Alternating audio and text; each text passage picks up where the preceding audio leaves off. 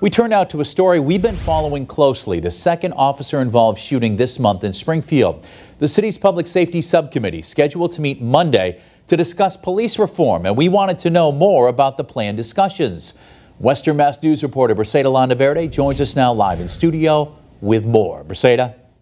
Yeah, well, Chris, I spoke with the chairman of public safety, Victor Davila, and he tells me Springfield Police Commissioner Cheryl Clapprood, as well as city council members, will attend the meeting to have an open conversation about the current state of the city's police department.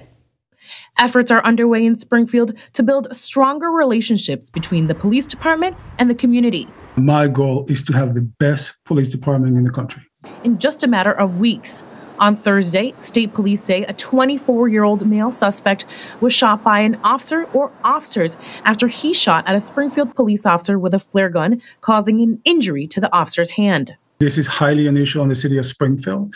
Chairman of Public Safety and City Councilor Victor Davila tells Western Mass News the first meeting of the Public Safety Subcommittee for this year will be held on Monday. Uh, we're going to have a global overview of the police department. We're going to be looking at what I call the current state of SPD. We're talk- going to be talking about, we're going to be looking for information on an update on the police reforms.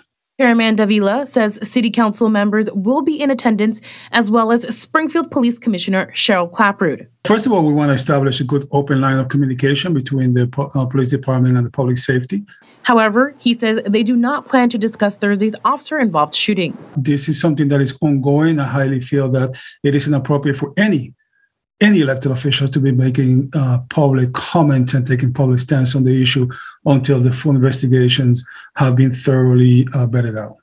Meanwhile, we reached out to Commissioner Clapprood, and she tells us we'll provide Councilor Davila and the Public Safety Committee with an overview and updates as we continue to modernize our police department.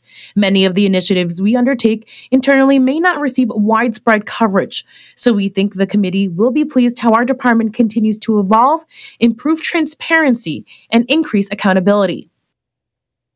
Now again, police officials say the suspect in Thursday's incident fired a flare gun at the Springfield police officer. Tonight at 6, we're getting answers on the intended purpose of flare guns and how dangerous they can be when shot at another person. For now, live in studio, Briseida Landaverde, Western Mass News.